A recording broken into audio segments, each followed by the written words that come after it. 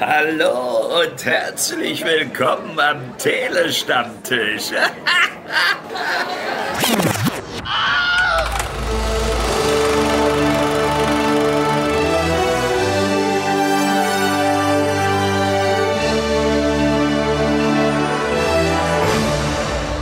Hallo, willkommen beim Telestammtisch zur Besprechung des Films Schock, der ab dem 15. Februar in den deutschen Kinos läuft. Ich bin's du und oh Schock, heute dabei ist der Timo. Hallo. Oh Gott, ich habe so einen Schock gekriegt. Hallo. Hallo. Timo, ich bin sehr froh, dass du heute mit dabei bist, denn dieser Titel, der, ja, der giert ja nach Wortspielen und mhm. wenn das einer kann, bist du das. Ja, ich war äh, schockverliebt, als ich die Nachricht hörte, dass wir beide das zusammen machen und ich bin ebenso schockverliebt darüber, dass wir jetzt über diesen deutschen kann man Genrefilm sagen? Ja, ich finde ja, schon. Ja, Dass wir über diesen deutschen Genrefilm äh, sprechen können. Denn äh, äh, nicht so hotter Take meinerseits. Ich finde, deutscher Genrefilm hat gerade so in den letzten Wochen so ein paar Sachen hervorgebracht, die ich ganz passabel bis gut fand. Durchaus. Äh, allgemein gilt ja immer so die, die, ja, die Regel Genrefilm und Deutschland, na, passt nicht so. Also wenn es aus dem Ausland kommt, sind wir immer gerne mit dabei. Aber wenn dann so ja, hiesige Produkte herauskommen und dann diesen Genre-Filmstempel tragen, ja, dann, dann haben sie es echt schwer. Und ich meine, selbst äh, erfolgsverwöhnte Filmemacher, wie zum Beispiel Moritz Bleibtreu oder Till Schweiger, haben ja mehr als einmal versucht, einen deutschen Genrefilm auf die Beine zu stellen, der auch kommerziell erfolgreich ist. Aber so richtig abgeliefert von denen hat diesbezüglich ja keiner, oder? Nee, ich finde diesen, also du sprichst ja auf Schutzengel und ich glaube, der ist äh, Nur Gott kann mich richten. Nur Gott kann mich richten und ich hätte jetzt auch diesen, heißt der Koma? Nee, der heißt nicht Koma. Äh, Cortex. Cortex, genau. Der, ähm, der hatte für mich ja so ein bisschen deutsche Inception-Vibes. Äh, ich kann mir das ehrlich gesagt nicht so ganz erklären. Ich habe vor kurzem, ich glaube, als der Filmemacher, also der, der ich glaube, der heißt Mark Schießer, der jetzt vor kurzem diesen Prime-Film Trunked äh, oder Trunk mhm. Locked Up oder Locked In äh, gemacht hat, meinte, dass er mal erlebt habe, dass er was geguckt hätte mit jemandem und dann hätte die Person nach fünf Minuten, als noch kein Dialog fiel, dann gemerkt, oh Scheiße, ist ja Deutsch, nee, dann face Kacke. Ich glaube, das ist so eine Grundattitüde, weil wir natürlich auch an unserem Filmemacherruf oder unseren Filmoutput so ein bisschen auf fast schon wie in Amerika nur noch begrenzter so ausgerichtet haben. Wir haben irgendwie im Herbst so die etwas größeren Dramen, die dann thematisch sehr häufig aber immer noch über Dinge aus dem Zweiten Weltkrieg und dem Umland erzählen. Und dann haben wir natürlich die mittlerweile sehr verpönten Schweighöfer, Schweiger, Komödien, die alle äh, mäßig bis gar nicht lustig sind. Und deswegen geht der Genrefilm echt unter. Ich kann mich so in den frühen 2000ern so ein, zwei Versuche erinnern und dann die von dir angesprochenen. Ich finde es total schade, weil ich sage jetzt schon mal, zumindest auch nicht Bezug auf Schock, aber in Bezug auf die anderen äh, zwei äh, vor kurzem geliefenen 60 Minuten und Trunk, ich mochte die beide. Und ich möchte da gern mehr von. Ich finde, der deutsche Film soll sich mal bitte mehr Genre trauen. Ja, also Trunk habe ich tatsächlich wie Schock auch im Kino sehen können beim Cologne Film Festival. Der hat mir auch ganz gut gefallen. Ähm, 60 Minuten war ich überrascht, wie gut der mir gefallen hat. Den gibt's auf Netflix. Ähm, mir würde auch noch einfallen Stereo mit Bleibtreu und Vogel. Mhm der war auch ganz gut. Hell war ganz gut. Rambock war ein deutscher Zombie-Film, der hat relativ, also für seinen Maßstab relativ äh, zumindest positives Echo bekommen und Schneeflöckchen, deren Macher dann, äh, wie heißt es, Slowborn und Oderbruch gemacht mhm. haben und noch so ein paar Sachen. Also der deutsche Genrefilm lebt, aber er lebt so in seiner eigenen kleinen Nische und jedes Mal, wenn so einer sich traut rauszukommen, so wie so ein kleines Häschen, so versucht, die, die, die Luft des ganzen Kino, äh, Kinos der Deutschlands zu schnuppern, dann dauert es meistens nicht lange und dann kommt die Gewehrkugel geflogen und zerfleddert den armen Hasen. Es ist leider so. Mhm. Also ich weiß auch, dass äh, Ende letzten Jahres äh, ist dieser Dive erschienen den ich auch ganz gut fand, der ich auch mehr Aufmerksamkeit verdient hätte und der ist auch, ja, untergegangen, wortwörtlich. Und das ist sehr schade. Und ich wage jetzt mal einfach die Prognose. Ich meine, Schock bekommt einen breiten Kinostart, also so breit wie möglich, am 15. Februar, aber ich sehe nicht, dass der ein Erfolg wird. Nee, ich äh, fürchte das auch. Wobei ich bei den von uns vor kurzem drei genannten Beispielen, also inklusive Schock, auch sagen muss, äh, bevor wir gleich vielleicht zur Inhaltsangabe kommen oder kurz erzählen, worum es da geht. Von den drei genannten 60 Minuten Trunk finde ich auch Schock mit am schwächsten, muss ich dann leider sagen. Okay, das ist interessant. Ich würde sagen, bei mir ist es der Favorit. Okay, hm. dann das, das wird ein spannender Podcast. Ah, ich freue mich. Wie ein Schnitzel. Ich reibe mir die Hände. okay. Gut, du hast schon gesagt, äh, wir sollen mal zum, äh, zur Synopsis kommen. Deswegen, lieber Timo, worum geht's in Schock? Ja, es geht um Bruno, gespielt von dem, ja, mit Co-Autoren und Co-Regisseur Dennis Mosquito, heißt er, glaube ich, oder wenn wir ihn richtig aussprechen. Der ist in Köln ein Arzt, hat jedoch vor kurzem seine Approbation, also seine Zulassung verloren und jetzt kümmert er sich, ja, wie man das so machen muss in solchen Kreisen, ohne viele Fragen zu stellen, um äh, Verletzte, die äh, ihre Verletzung aus welchen Gründen auch immer davongetragen haben. Hauptsache, er kann weiterarbeiten, egal wie, ist so ein bisschen sein Motto. Dann kontaktiert ihn eines Tages eine Anwältin, gespielt von Anke Engelke, die macht ihm ein Angebot, einen Kriminellen zu behandeln, der Leukämie hat. Und das ist natürlich für einen Arzt ja ein Weckruf, um so ein bisschen Bock zu haben. Äh, Problem an der Sache ist, äh, einerseits die Beschaffung der jeweiligen Substanzen und andererseits gerät er damit so ein bisschen in die oder zwischen die Fronten von zwei rivalisierenden Gruppen. Und dann geht es immer weiter so, dass dieses doch vorher sehr geordnete Leben ein bisschen entrückt und ja, man stellt sich am Ende als Zuschauer ein bisschen die Frage, kann er das noch irgendwie gerade biegen oder kann er es nicht schaffen? Und dann droht das Ganze so ein bisschen zu eskalieren. Ja, vielen Dank. Ja, diese Frage, kann es sich noch äh, irgendwie zurechtrichten? Geht es gut aus? Ich muss sagen, ich für meinen Teil, ich finde, dass Schock so ein Film ist, der mir zumindest so von der ersten Einstellung an eins klar gemacht hat, nämlich, boah, das ist eigentlich eine zermürbende Abwärtsspirale, der wir hier zugucken. Es gibt, glaube ich, nur einen Ausweg und dieser Ausweg ist halt äh, Schmerz und ja, äh, Pessimismus. Deswegen finde ich es ganz interessant, dass du gesagt hast, dass äh, ja es vielleicht Hoffnung gibt, dass es gut ausgehen kann. Für mich war immer klar, also relativ schnell, das ist wirklich so ein Film, der darauf abzielt, dass wir einfach dabei zugucken, wie nicht nur die Hauptfigur, sondern auch seine ganze Umwelt immer mal mehr und mehr in diesen Abgrund versackt das Krasse ist, ich hatte am Anfang so ein bisschen so, die, so, so der, der, der mittlerweile ja sehr, sehr in Kritikerkreisen hochgelobte Paul Schrader. Ich hatte so ein bisschen Schrader-Vibes, dass er wirklich so auch hier erzählen möchte, äh, der Film, dass es diese, diese komplette Ich reiße alles runter ähm, Geschichte mhm. wird. Aber da muss man ja, ohne jetzt zu viel zu spoilern, aber in der Synopsis klang es ja schon an, ich finde ja, Bruno ist an seinem Schicksal gar nicht so sehr schuld, sondern er gerät halt in diesen Abwärtsstrudel selber hinein. Bei Schrader sind das ja gerne mal einfach solche äh, Charaktere, die dann selber das verursachen, weil sie aus ihrem Naturell nicht raus können oder weil sie einen gewissen Hang dazu haben, äh, obsessiv zu werden. Und das ist bei Bruno, finde ich, nicht der Fall.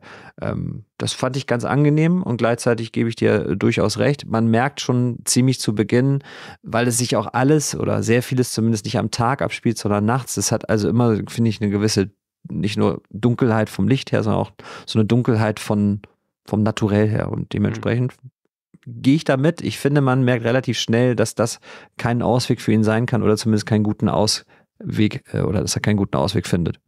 Ja. Ähm, mich hat der Film visuell so ein bisschen an Reffen erinnert, vor allem Drive. Äh, mhm. Es soll aber gesagt sein, es haben, ich hab, hatte ja wie gesagt das Glück, den im Kino zu gucken, da waren auch die, die Filmcrew und also auch der Regisseur anwesend die haben danach noch so ein paar Interviewfragen beantwortet.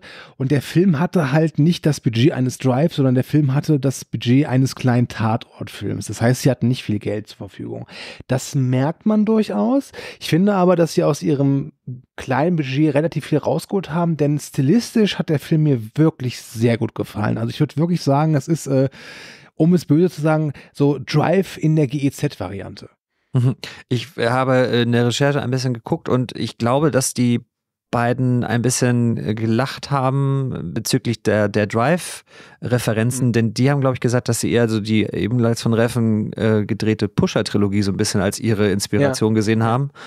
Und äh, ich habe tatsächlich ein bisschen ausgemacht, dass sie ähm, in Sachen Score und Farbgebung auch so ein bisschen bei Uncut Gems geguckt haben. Also der Film ja. ist halt, finde ich, sehr, sehr dreckig, der sehr, sehr, sehr, also irgendwann wird er so ein bisschen fiebrig er erreicht für mich nicht immer ganz so dieses Immersive, dass man so dabei ist und dass man so diese Unruhe spürt. Dafür finde ich, ist er ein bisschen zu bedächtig erzählt.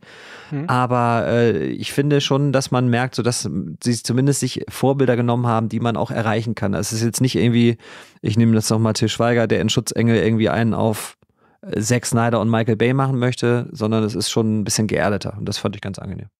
Ja, also ich finde auch, die, die setzen sich erreichbare Ziele. Ähm, was ich auch halt schön finde, ist, wie der Film erzählt wird. Du hast schon gesagt, dass er dir ein paar Längen hat. Ich würde auch nicht, äh, ja, absprechen wollen, dass er hier und da ein bisschen elegisch ist. Trotz allem ist er mit, glaube ich, knapp 90, 95 Minuten noch relativ kompakt äh, erzählt. Aber ich finde, dass er sehr schön sein, sein Narrativ entfaltet, weil ganz viele Sachen wissen wir gar nicht. Also zum Beispiel, wir wissen halt irgendwann, okay, Bruno war mal anscheinend wirklich Arzt, hat aber seine Zulassung verloren. Warum, wieso, weshalb? Wir wissen es nicht, wir erfahren aber immer nur so Bruchstücke. Es ist so ein Mosaik, das sich so nach und nach entfaltet. Nicht nur bei Bruno, sondern auch hat ja eine Schwester. Diese Schwester ist da zusammen mit einem Gangster.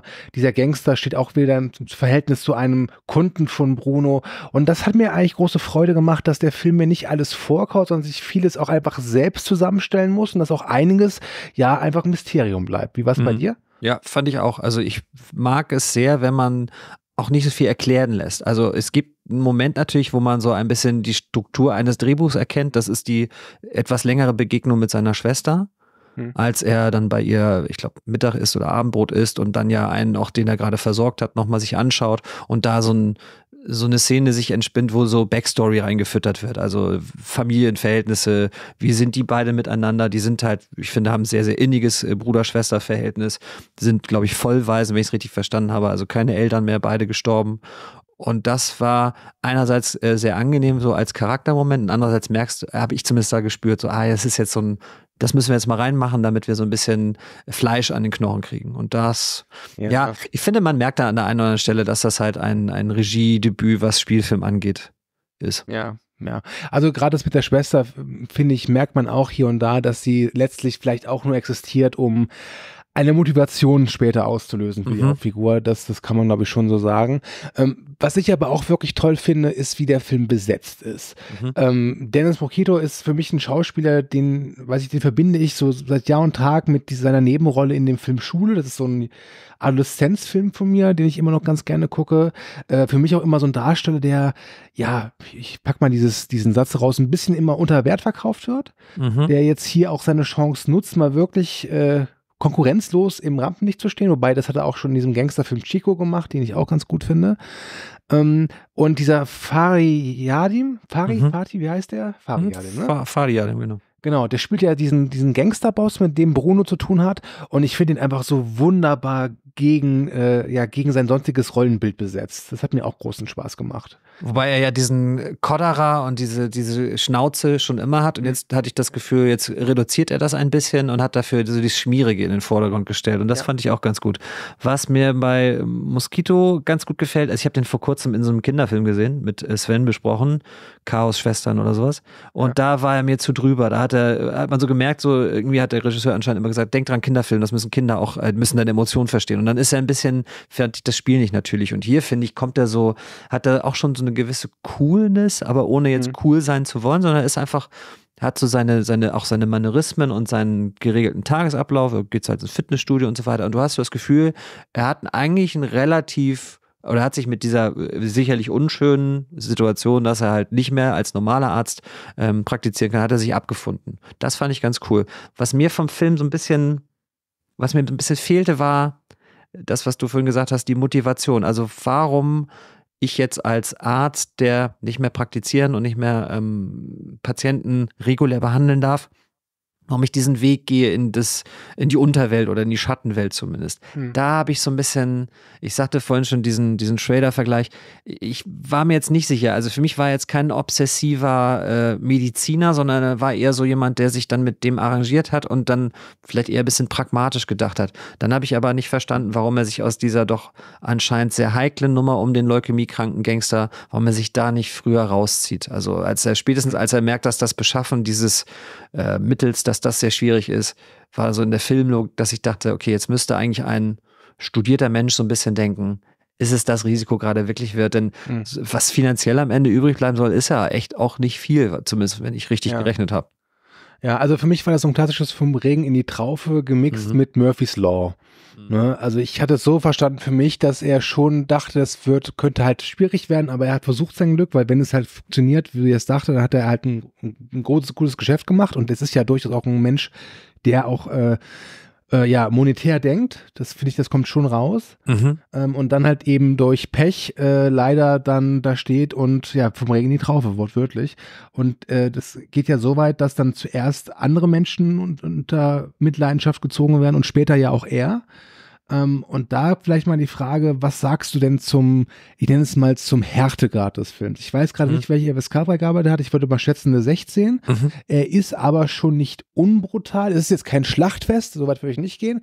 Aber für einen deutschen Film, das muss hier nochmal gesagt werden, für einen deutschen Film hat er schon so ein paar Spitzen um es mal so auszudrücken. Ja, also ich hatte ja im Vorgespräch vom Leitmedium, jetzt ein bisschen viel vielleicht, aber es gibt äh, auf einer sehr bekannten, auf einem sehr bekannten Filmportal auch einen mit, ist das der härteste Film des Jahres Artikel und da muss ich jetzt sagen, da gehe ich jetzt nicht so ganz mit. Es gibt halt diese eine Szene, ähm, nicht wie bei Saltburn sind es zwei, drei, wo man drüber sprechen müsste, sondern hier ist es die eine, wie ich finde, und die ist, äh, haben wir auch schon besprochen, die ist für mich vom Härtegrad noch in Ordnung. Also ich konnte das noch ertragen. Es ist jetzt nicht, dass man da sitzt und einem wird Spei übel oder zumindest wurde mir nicht übel.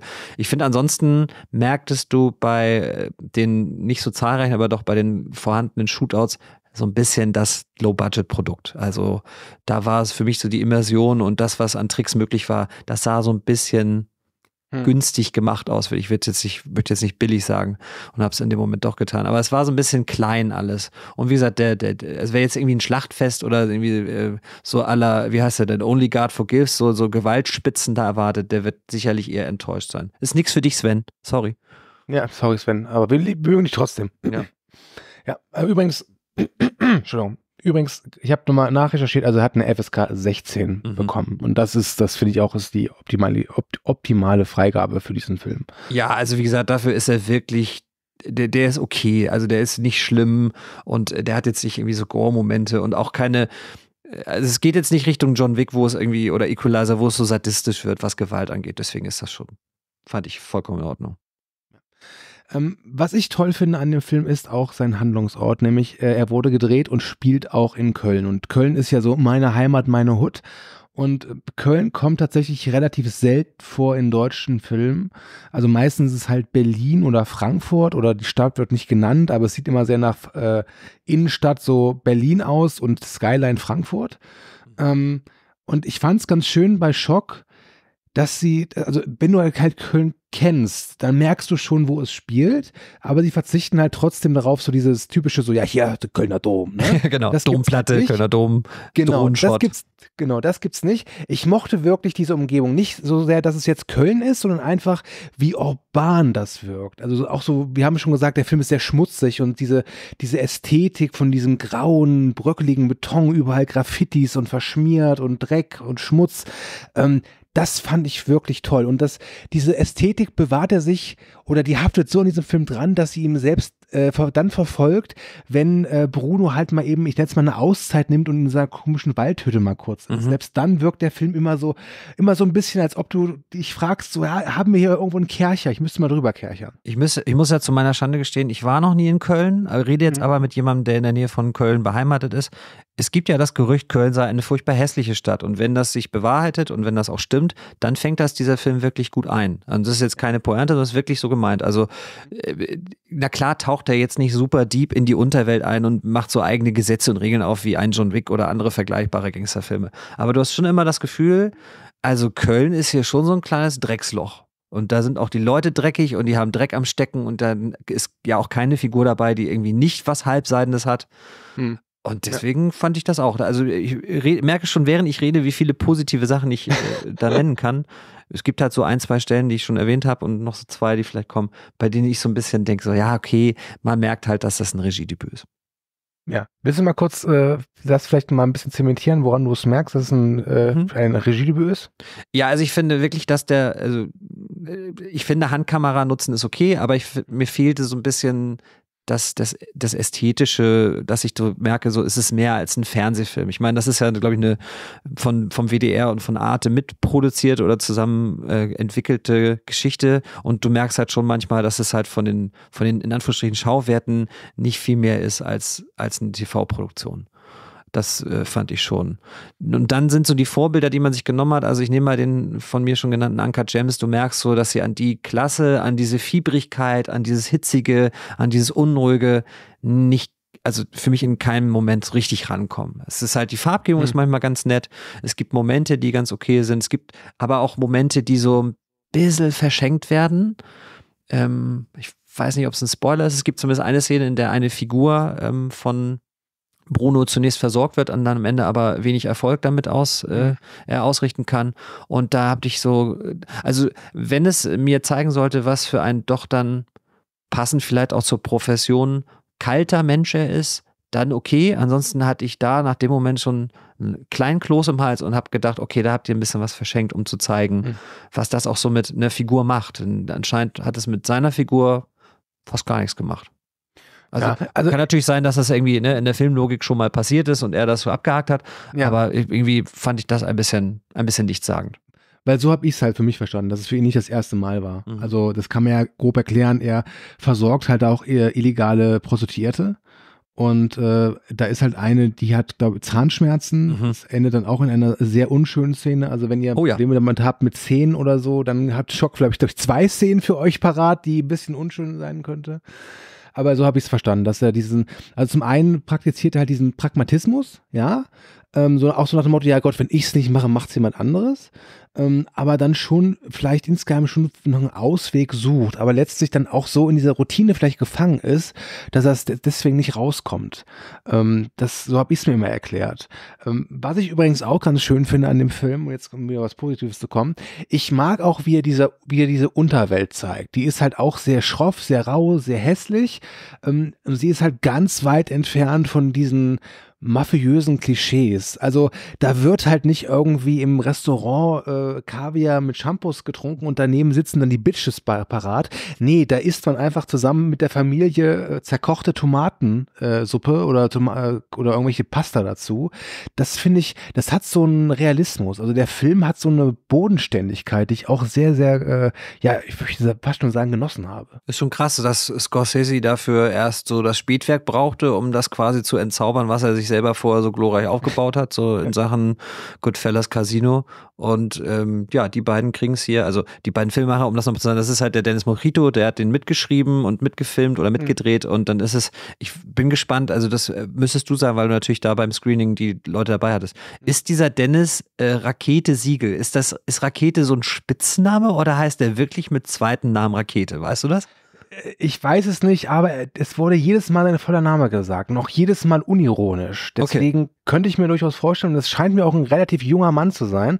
Äh, vielleicht hat er einfach Eltern, die Spaß haben oder Spaß hatten bei, ja. bei, bei, der Geburt oder so. Vielleicht ist der Junge ja bei der Geburt rausgeflutscht wie eine Rakete, heißt deswegen so, ich weiß es nicht. Möglich, möglich. Also äh, ich meine, bei Prominenten dürfen wir uns ja nicht über Namensgebung, äh, Grüße an Brooklyn Beckham und solche Leute äh, oder an Apple Paltrow oder heißt sie Martin, ich weiß es nicht. Da dürfen wir uns nicht wenden. Oder Peaches Geldorf gab es glaube ich auch mal oder gibt es noch, ich weiß nicht, ob die noch lebt, ich glaube, die ist irgendwann mal gestorben.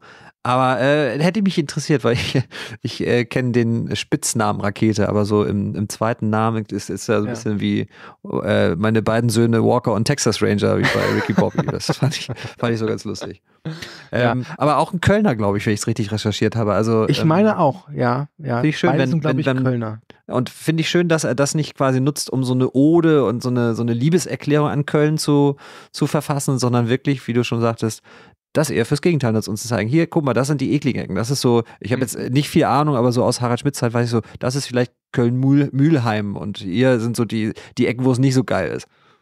Ja, ja, also wie gesagt, ich komme nicht gebürtig aus Köln, aber ich wohne sehr, sehr, sehr nah dran und bin sehr, sehr oft in Köln. Und ich mag Köln als Stadt, aber Köln ist halt einfach pottenhässlich. Da gibt es gar keine Diskussion. Also überhaupt gar keine Diskussion. Geografisch also, einfach eine doofe Lage, um im Zweiten Weltkrieg viel behalten haben zu können. Das muss man auch an dieser Stelle sagen. Ja, ja, aber dafür ist es einfach eine herzliche Stadt. Also ich jeden Morgen, wenn ich da irgendwie mit der S-Bahn unterwegs bin und dann du steigst aus, gehst durch dieses Treppenhaus und hast gleich diesen erfrischenden Uringeruch in der Nase. Das ist toll. Das, das ist Köln, weißt du? Das ist, das ist Kölsche Menschlichkeit. Ja, übrigens, wir nehmen diesen Podcast am Karneval auf, das möchte ich hier nochmal erwähnen. Ja, ich wollte es auch gerade sagen. Also, falls jemand uns hört und denkt, was erzählen die beiden Jecken denn dort? Äh, wir haben die roten Nasen noch nicht auf. Ne? Das ist nicht so. Äh Jetzt wird es auch schlimm, weil ich sonst, wenn ich inhaltlich nicht mehr weiß, was ich sagen will, dann Dialekt ist immer ganz furchtbar. Ja. Sag dir. Folgendes, ähm, du hast ja gerade eben gesagt, dass du von diesen drei anderen Genrefilmen aus Deutschland, also das war 60 Minuten und das andere war, hilf mir auf die Sprünge, was Trunk. war das andere? Äh, genau, Trunk, dass für dich da Schock der in Anführungszeichen schwächste mhm. ist. Ich finde aber, was du gesagt hast, bis auf jetzt so ein, zwei Kritikpunkte, klang jetzt aber gar nicht so verkehrt. Also das nee, jetzt, also, also nicht, ne? Das, das wäre so, um auch äh, vielleicht so in Sachen, äh, ist das eine Empfehlung, sollte man dafür ins Kino gehen? Ich, also ich kann ja nicht selber erzählen, äh, ihr müsst unbedingt den deutschen Genrefilm ein bisschen pushen und dann sagen, ja, aber den braucht man nicht zu Hause, äh, den braucht man nicht im Kino sehen, könnt ihr euch zu Hause reinziehen. Nee, geht mal für sowas echt ins Kino. Wenn ihr, ich sagte es schon, wenn ihr so auf, auf Schrader-Typen steht, wenn ihr so auf Gangsterfilme steht, die jetzt aber nicht so eine große Scale haben und auch diesen Glamour vielleicht äh, als Faktor nicht ausspielen wollen, dann schaut euch den an. Der ist gut gespielt. Ich finde, da ist niemand irgendwie komplett drüber. Der hat so seine Momente, der hat so ein, zwei. Mhm. Ich, ich finde zum Beispiel, wenn, wenn er da mit dem Mafioso dann zum Fernsehgucken bleiben soll, wo du halt auch so merkst, so das, was du, was du sagtest, der ist halt nicht irgendwie so, so der geile Hecht, sondern der ist jetzt ein kranker Mensch und möchte nicht alleine sein. Und das finde ich, der hat schon seine Momente. Ich finde ihn handwerklich halt äh, solide. Du merkst an der einen oder anderen Stelle, dass das Geld ein bisschen fehlte und dass vielleicht auch die handwerklichen Fähigkeiten, also oder anders formuliert, der, der Trunk hatte halt wirklich so seine visuellen Spielereien und mhm. ähm, du merktest so, dass der, der ähm, Regisseur auch der Produzent war. Das heißt, er hat sich einfach einen Blankoscheck in Anführungsstrichen aus ausgestellt. Und hier merkst du, hier sind budgetäre Limitierungen drin. Das ist aber völlig in Ordnung. Also guckt ihn euch an, wenn er bei euch läuft. Unbedingt. Ja. Äh, würde ich auch so unterschreiben. Wie gesagt, Trunk äh, fand ich auch empfehlenswert. Den habe ich ja, wie gesagt, auch im Kino gesehen können. Ich finde ja, halt cool. einfach, dass, dass das Schock im Kino besser gewirkt hat auf mich. Auf mich wirkte Schock, obwohl er diese, ich nenne es mal auch, ja, dieses, diese Fernsehfilm-Patina schon hat, mhm. allein wegen aus budgetären Gründen, finde ich, wirkt er einfach äh, visuell irgendwie klarer. Der wirkt, äh, der schlägt mehr durch, was das angeht, als Trunk. Der muss äh, natürlich auch, auch, nicht den, äh, sagen wir so, dieses begrenzte Setting so ein bisschen ja. durch visuelle ja. Spielereien versuchen, etwas ja. besser darzustellen oder dastehen zu lassen.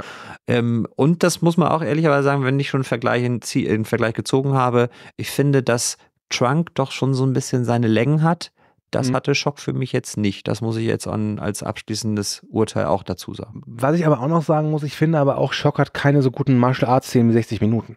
Das ist äh, tatsächlich wahr. Dafür ist er nicht so drüber. Das find, äh, war also vielleicht mein eigentlicher Kritikpunkt. Da war schon irgendwie so ein bisschen bei 60 Minuten das Ding, dass das schon so ein bisschen zu sehr auf dicke Hose war, fand ich. Ja.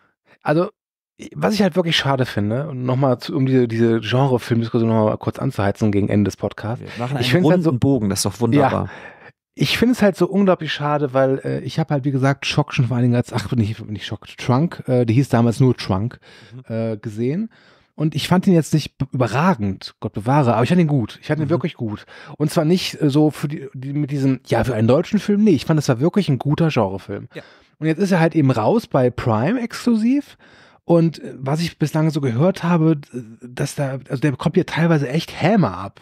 Wo ich, ich kann ja jeden Kritikpunkt verstehen, aber ich denke mir auch so, Leute, ganz ehrlich, seid doch mal ein bisschen, also, dass ich das sage, bin ich gerade ein bisschen verwundert, aber seid ein bisschen fair. Ja, also, ich, vor allen Dingen, also ich bin ja äh, da sogar befangen, weil ein äh, Kollege, Grüße an Kena an dieser Stelle von mhm. Filmtoast da ähm, am Set einen Job hatte und da quasi mhm. auch eins zu eins dabei war. Und ich fand jetzt vor kurzem, ähm, der, der Marc Schießer, der Regisseur und Produzent, war halt bei Kino Plus Plus zu Gast und der war, da, also wenn du so dieses positiv quirlige, weißt du, wenn da so ein bisschen so ein Typ ist, der, wo du merkst, das ist ein Nerd, der hat Bock darauf, aber war halt nicht auf der Filmschule und macht irgendwie, äh, was weiß ich da, den Kram, den er an der Filmhochschule gelernt hat. Das finde ich halt cool und deswegen, ähm, der hat zum Beispiel auch erzählt, das war mir nicht so klar, dass der in Amerika echt gute Kritiken bekommen hat und deswegen mhm. finde ich es so schade, dass wir, aber das ist ach, jetzt kommen wir vielleicht in so, in so eine große gesellschaftliche Debatte, aber das werden wir gut abwürgen können, glaube ich.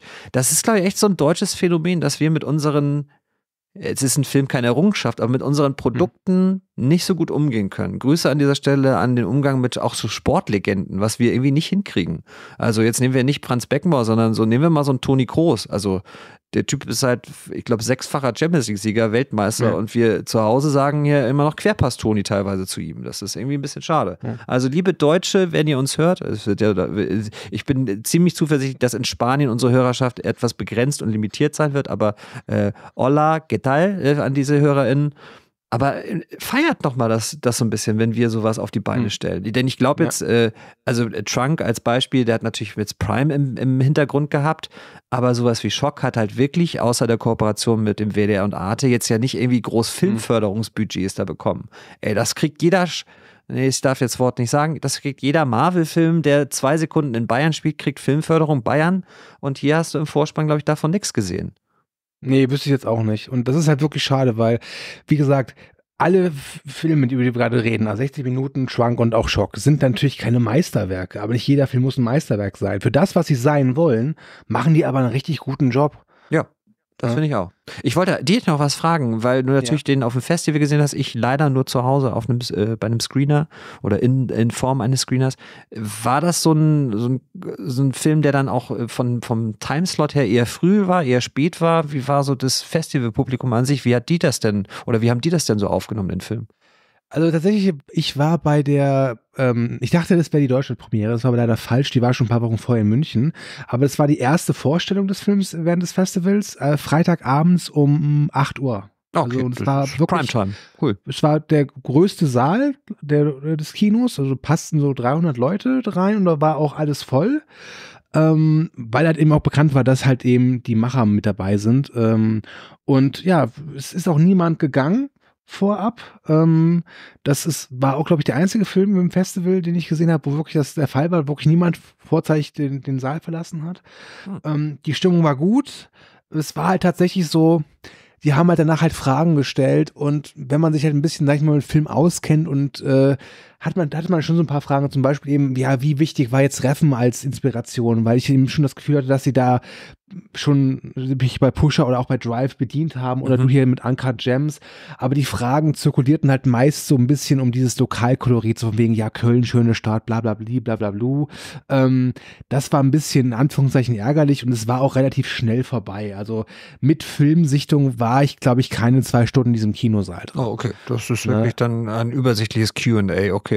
Ja, also es war nicht so viel. Man muss aber auch dazu sagen, die hatten auch eine sehr äh, straffe Taktung. Also als ich im Kinosaal gegangen bin, standen da schon die Leute für die nächste Vorstellung. Ne? Also von daher, aber äh, es war auf jeden Fall mal ein Erlebnis ähm, und es ist immer komisch, wenn du halt Leute live siehst, also äh, weil Dennis Mojito, ich sagte es schon, den kenne ich halt schon in ganz anderen Film und äh, aber wenn man den dann so, so live so vor einem stehen sieht, denkt man sich auch so, ach, der ist aber irgendwie ein bisschen klein. das äh, ist mir den ganzen Film durchweg, dachte ich immer, ich habe mir den, den legitimen Schauspieler, falls das Leben von Mickey Beisenherz in Kürze verfilmt wird, weil das sind ja beides Stimmt, eher also kleine ja. Menschen, ähm, gleichzeitig äh, ist das immer. Ich finde das, also ich habe mal den, den äh, Skarsgård, den Alexander Skarsgård und man sieht schon in seinen Filmen, gerade so bei Infinity Pool, dass das ein großer Mensch ist. Aber wenn der dann halt vor dir steht, denkst du, oh, der ist ja sogar ein kleines Stück größer. Also ich bin 1,93, muss man dazu sagen.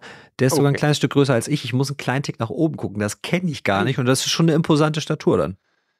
Okay, ist interessant, weil ich habe dich immer als als jetzt als ich als Winzling eingestuft, aber immer so ja so meine Größe, so 1,80 Meter. Nee, ich ähm, bin ein bisschen größer, okay. Gott sei Dank. Also nicht, weil du 1,80 bist, sondern einfach, ja. weil das äh, in diversen Momenten einen ganz netten Vorteil hat.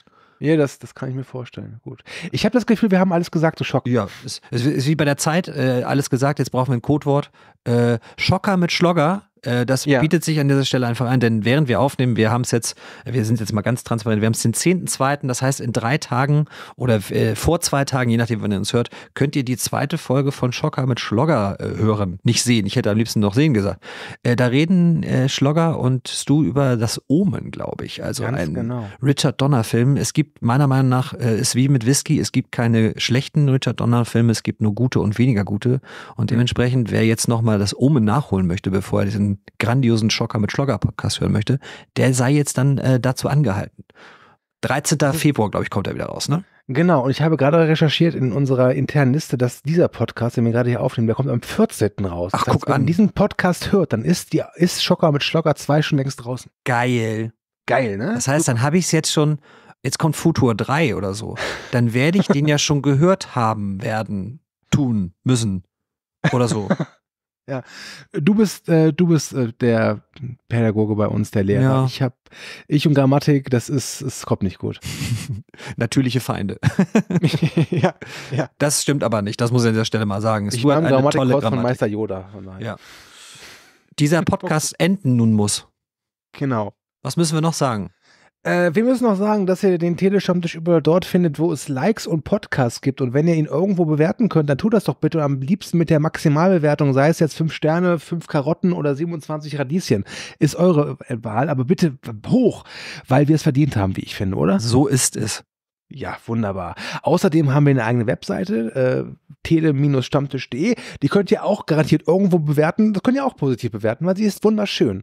So ein bisschen wie das Erstgeborene. Am Anfang ein bisschen hässlich, aber wenn man sich daran gewöhnt, denkt man sich, was für ein schönes Kind. okay. Ja, das stimmt. Gut, damit sind ah. wir durch. Timo, ich danke dir für deine Zeit und deine Expertise. Ich Sehr danke gerne. euch da draußen fürs Zuhören. Und Timo, dir gebührt das letzte Wort. Tschüss. Tschüssi oder wie in Köln sagt, tschö mit Ö. Ich darf nie wieder nach Köln. Sehr geehrte Damen und Herren, wertes Publikum, liebe Hörende, vielen Dank für eure Aufmerksamkeit und Zeit. Ich hoffe sehr, euch hat gefallen, was ihr gerade gehört habt. Wir, die Redaktion des Telestammtisch, betreiben ein semi-professionelles Podcast-Projekt zum Selbstmitmachen. Also meldet euch bei uns, wir beißen auf. Außerdem freuen wir uns immer über Feedback via Social Media und E-Mail sowie euren finanziellen Support. Ebenso frohlocken wir förmlich über Bewertungen auf den gängigen Podcast-Plattformen. Wer möchte, darf uns gern immer und überall empfehlen. Alle relevanten Links findet ihr in den Show Notes. Vielen Dank und bis zum nächsten Mal. Euer Andi.